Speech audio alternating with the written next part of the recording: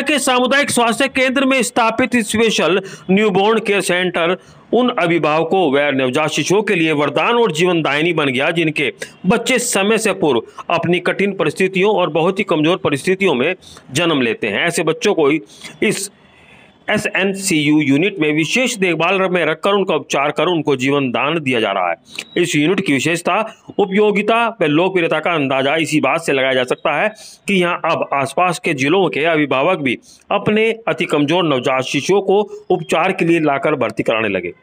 आज भी N S unit में एक ऐसे नवजात शिशु को ठीक होने के बाद डिस्चार्ज किया गया, जिसे करीब बीस दिन पहले बहुत ही कमज़ोर और बीमार स्थिति में भर्ती कराया गया था। यूनिट प्रभारी विष्णु शर्मा ने बताया कि धौलपुर ज़िले के गाँव बातन निवासी रामजीत गुज्जर ने अपने नवजात शिशु को इस यूनिट में गंभीर स्थिति में भर्ती कराया था। तब इस नवजात शिशु की पल्स रेट मात्र पचास व उसमें वज़न मात्र 800 ग्राम था, जिसका जीवन गंभीर संकट में था। ऐसे शिशुओं को प्राइवेट अस्पताल में भर्ती करने पर दस से पंद्रह हज़ार प्रति खर्च आता है। बयाना की एनएसयू यूनिट में इस बच्चे को करीब पच्चीस दिन भर्ती रखकर निःशुल्क उपचार किया गया, जिसे आज छुट्टी देते समय का वज़न 1250 ग्राम से अधिक था और पल्स रेट भी सामान्य हो गई थी। बच्चे का अभिभावक अपने बच्चे को सामान्य स्थिति में देख बेहद खुश नज़र आए।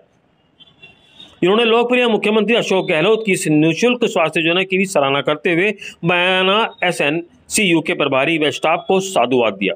इस सब में चिकित्सा प्रभारी डॉक्टर योगेंद्र गुजर एनएसयू चिकित्सा प्रभारी डॉक्टर महेश डाकड़ प्रभारी विष्णु उपाध्याय, आशीष तिवारी, सुरेंद्र देवेंद्र, कुलदीप विनोद, सन्नी, राजू आदि चिकित्सा कर्मियों का विशेष सहयोग रहा। बच्चा साढ़े आठ सौ ग्राम का हो गया था। और चैन पतले पतले हाथ थे कुछ नहीं था।